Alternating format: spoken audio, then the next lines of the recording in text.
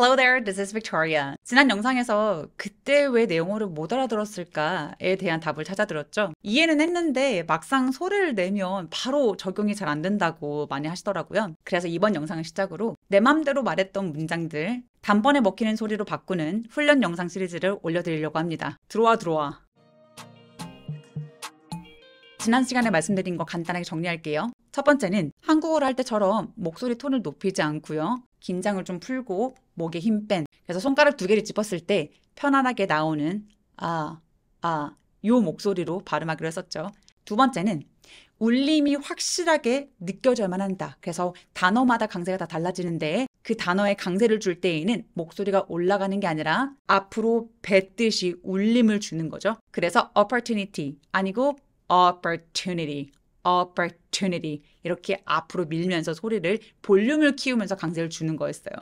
세 번째는 단어를 말하든 문장으로 말하든 톤이 앞에서 올라갔다가 쭉 이렇게 내려오는 느낌으로 말한다. 이 세 가지를 적용해서 우리가 평소에 많이 말할 법한 문장들, 쉬운 문장들 위주로 먼저 소리를 다듬어 보도록 하겠습니다. 그래서 첫 번째 시간에는 오늘은 뭐 할 거냐면 비동사, 특히 R가 붙은 이렇게 축약된 소리들 있죠. 이 소리들을 은근 발음하기 어려워하시더라고요. 그래서 이 키워드들이 들어간 문장들을 같이 한번 연습해 볼 거예요. Okay, let's start with the first one. were. 자, 문장 먼저 보여드릴게요.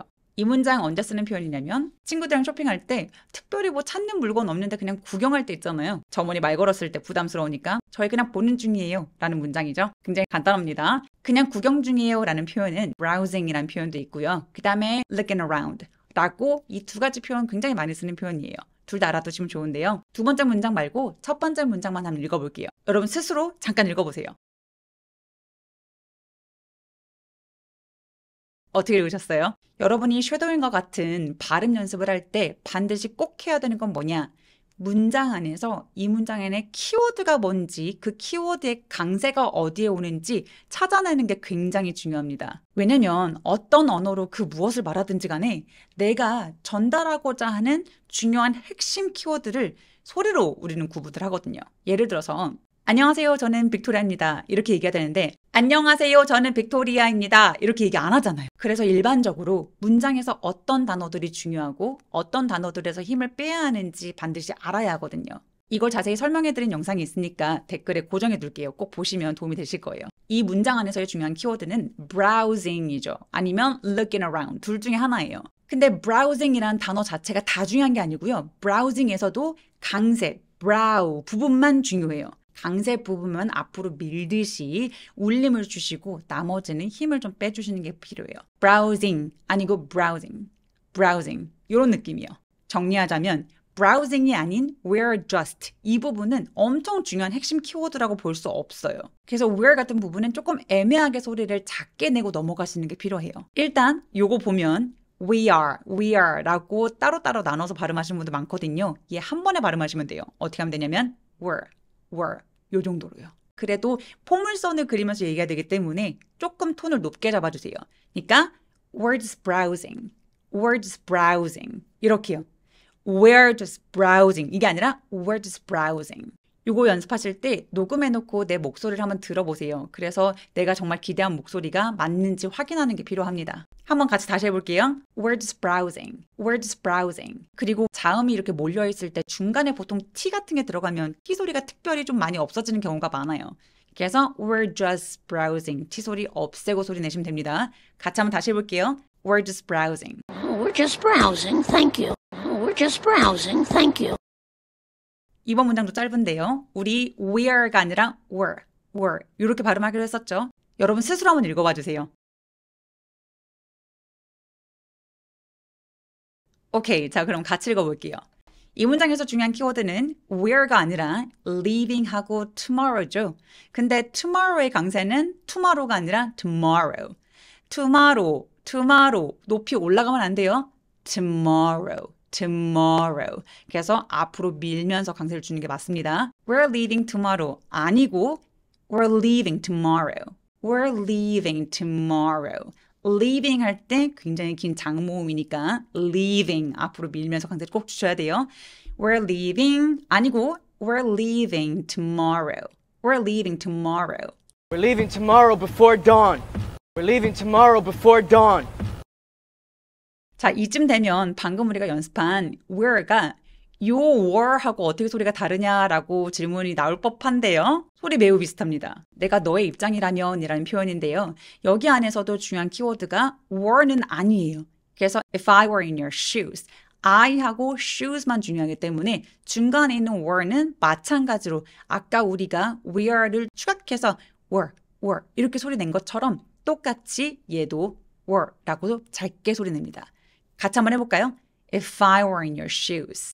If I were in your shoes. 그럼 문장 말씀하실 때 if I were in your shoes 단어로 말씀하시면 안 돼요. 소리가 끊어지지 않게 if I were in your shoes 라고 꼭 연결하셔야 돼요. If I were in your shoes 안 되는 거 아시죠? 다시 한번 If I were in your shoes 다음 문장 갈게요. 프로젝트를 진행하는데 일정보다 늦었어요. 이런 경우 사용할 수 있는 표현인데요. 자, 먼저 한번 읽어보시겠어요? 오케이, 그럼 같이 한번 볼게요. 이 문장에서의 키워드는 already, behind, 그 다음에 schedule. 이 셋 다 중요해요. 그래서 were만 좀 작게 말씀하시면 됩니다. 근데 요거 이제 읽어달라고 말씀을 드리면 보통 어떻게 읽으시냐면 We're already behind schedule. 리듬 맞추기가 저 D가 되게 좋은가 봐요. 그래서 already라고 되게 많이들 하세요. 톤 내리기. We're already. We're already behind schedule. 지금 들어보면 계단식으로 뭔가 포물선을 그리면서 이렇게 내려가죠, 톤이. 자, 다시 한번 들어보세요. We're already behind schedule. We're already behind schedule. 해서 계속 We're already behind라고 목소리 올리지 말고요. We're already behind schedule. 톤을 계속해서 내려보세요. 그리고 팁 하나 드리자면 이 already 발음하실 때 already 아니고요. A하고 L하고 저렇게 붙어 있을 때 L로 끝나는 음절들은 L 소리를 잘 안 냅니다. 그래서 마치 이런 소리예요. already, already. 그래서 R 발음만 입술 쭉 내밀어서 we're already 라고 해주세요. 만약 이 문장에서 우리가 2주 늦어졌어요 라고 한다면 we're already two weeks behind schedule. 이렇게 two weeks를 behind 앞에 넣어주시면 됩니다. 어떻게 한다고요? We're already two weeks behind schedule. We're already two weeks behind schedule. 강세는 two weeks behind 앞으로 밀는 거예요. Two weeks behind 안 돼요. Moving on to your. your로 넘어가 보도록 할게요. 네 말이 맞아 라는 문장이죠. 중간에 totally, absolutely 이런 표현도 많이 집어넣는데요. 그거 없이 그냥 you're right만 해볼게요. 요거 발음할 때 방금 제가 어떻게 했었죠? You are right 아니고 you're right, you're right. 이 문장에서 중요한 키워드는 right이에요. 그래서 여기 빨간색으로 되어 있는 right에다가 강세를 주시면 됩니다. 어떻게? 앞으로 밀면서 울림을 내주세요. You're right, you're right. 이거를 you are가 아니라 you're, you're라는 소리를 내주시면 돼요. 작게. 다시 한번 어떻게 낸다고요? You're right, you're right. You're right 아니에요. You're right. You're right. You're right. totally 넣어서 한번 해볼까요? You're totally right. 부사는 안 들어가도 되는데 넣었으니까 무조건 강세를 주셔야 돼요. 그래서 totally, to, 오 소리 내기. You're totally right. You're totally right. You're totally right. 친구가 울고 있어요. 무슨 일이야? 무슨 일이 생겼어? 라고 물어보는 문장이에요. 한번 스스로 읽어보세요. 강세는 야, 너 왜 울어? 무슨 일 있었어? 라고 할 때 Hey, you're crying이 아니라 you're crying. 이 사람을 보면서 얘기하는 거기 때문에 you're가 중요한 게 아니라 cry가 중요한 키워드죠. 무슨 일이야? what도 중요하고 happen도 중요할 수 있어요. 그럴 때 what happened 둘 다 강세 주셔도 되고요. 아니면 what happened What happened? 이렇게 해에 강세를 주셔도 되고요. 같이 한번 읽어볼게요. Hey, you're crying. 아니고 Hey, 앞으로 미세요. 목소리 높아지지 않게. Hey, you're crying. What happened? Hey, you're crying. What happened? 이 문장 자체가 약간 흥분해서 이제 얘기를 하게 되잖아요. 어, 너 왜 울고 있어? 이렇게. 그래서 다른 것보다는 톤이 좀 올라가는 것도 괜찮습니다. Hey, you're crying. What happened? 보다는 조금 톤을 높여서 Hey, you're crying. What happened? 조금만 높이세요. Hey, you're crying. 아니고 Hey, you're crying. 목젖에 손가락을 댔을 때 이 두 번째 여기 위에 손가락을 넘어가지 않아요. Hey, you're crying. What happened? You are 강세 주지 않고 you're crying. You're crying. 이렇게요. 그러면 또 궁금증이 생기죠. 방금 말했었던 you are의 your와 요 소유격의 your 소리가 어떻냐? 둘 다 비슷합니다. 그리고 이 소유격의 you're도 문장 안에서 엄청 중요한 핵심 키워드가 될 가능성도 매우 낮아요. 그거 네 거야 라고 할 때 that's your stuff.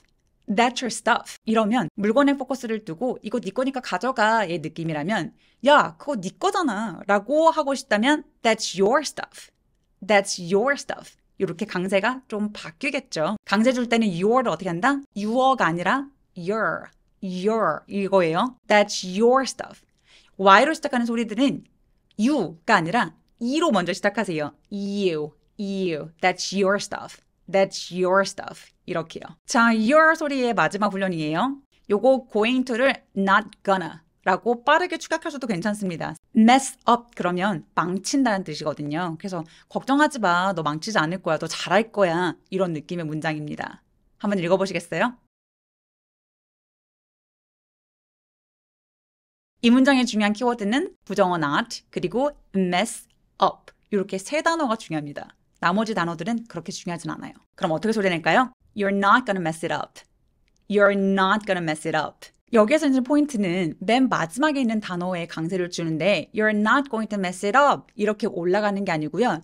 You're not gonna mess it up 해서 up 하면서 길게 소리를 내면서 울림을 주되 톤을 내려주는 것도 포인트예요. 같이 한번 다시 해볼게요. You're, you're, you're not gonna mess it up. You're not gonna mess it up. 이렇게요.